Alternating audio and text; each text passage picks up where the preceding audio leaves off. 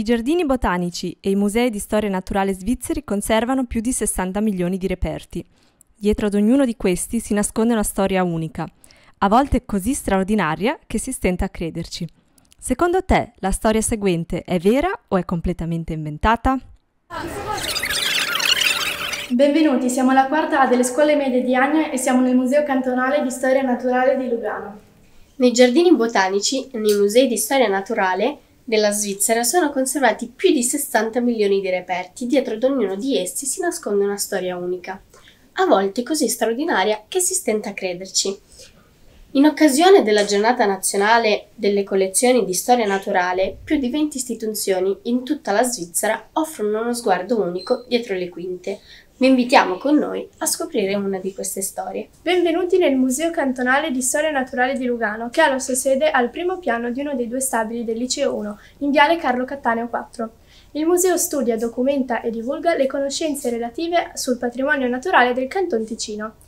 Conserva e gestisce un patrimonio di oltre mezzo milione di reperti, tra minerali, rocce, fossili, animali, piante e funghi, e dispone di una biblioteca specializzata. Naturalmente esiste un'esposizione permanente che offre una visione generale delle diverse componenti naturali del Ticino, grandi ricostruzioni di ambienti che mostrano gli animali e le piante più significative, mentre alcune sezioni sono dedicate a fossili, minerali e rocce, tra cui i famosi rettili del Monte San Giorgio. È anche presente un'ampia sezione dedicata ai funghi. Visitatelo dunque, l'entrata è gratuita. Vi diamo ora il benvenuto nelle stanze del museo dove è conservata la collezione dei vertebrati. Qui troviamo reperti impagliati di uccelli, mammiferi, anfibi e rettili.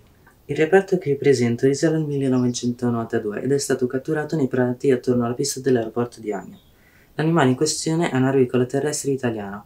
Solitamente questa specie vive in superficie tra la vegetazione lungo i corsi d'acqua. Per esempio, lungo Vedeggio vive una popolazione di questi animali. All'inizio degli anni 90 sul sedime dell'aeroporto di Agni ci sono stati parecchi problemi legati alla presenza di una grossa popolazione di erbicore. Il prato attorno alla pista sul quale transitavano i piccoli aerei cedeva facilmente a causa delle molte gallerie scavate dagli animali, poco sotto la superficie. Queste caratteristiche ecologiche, vivere sottoterra scavando cunicoli in aree prative, sono tipiche però di un'altra specie di arvicola presente esclusivamente a nord delle Alpi. Uno studio scientifico più attento dimostrò che gli animali presenti ad Agna erano tantissimi. La stima eseguita con metodi scientifici parlava di 10.000 animali sotto i prati dell'aeroporto, che appartenevano in realtà alla ravicola terrestre italiana, tipica degli ambienti di riva e che aveva quindi, sorprendentemente, cambiato habitat. Le cause di questo cambiamento potevano ricondursi a un interramento artificiale dei canali eriali ai cieli aperti presenti nei pressi dell'aeroporto. Per ridurre il numero di animali si cercò una soluzione naturale, senza usare veleni e gli animali furono studiati all'aeroporto per un anno e mezzo. Una vera attrazione scientifica. Secondo te questa storia è vera? È possibile?